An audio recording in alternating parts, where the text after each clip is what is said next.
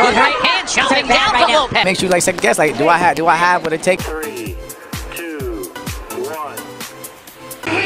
Alberto Lopez.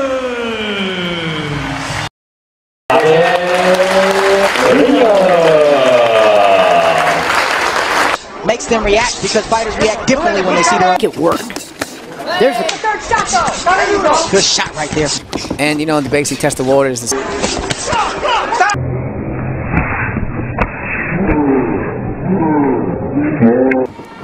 There's Just like straight that. left hand. Good. You know, I just have to say that he's matured now. And then sit down on your punches.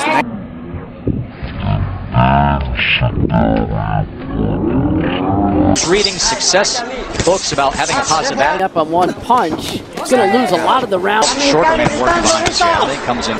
Abe, some good deep. But checkbook was something, wasn't me. And he went on to talk about how Change up his game plan. Nice body shot from Lopez. There's a good there, straight left right hand. He is, and he To, to bring the fight to you.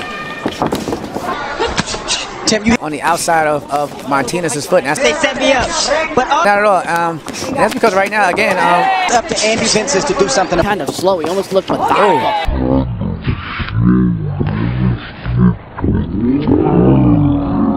Yeah, why not? It's working, right? his space and rhythm. Hands go and tries to press the issue. Exactly.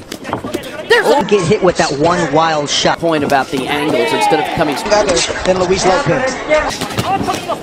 and it was a fifth round T. Makes you like second guess. Like, do I have do I have what it takes to stop him? Short right hand shoving down for Lopez.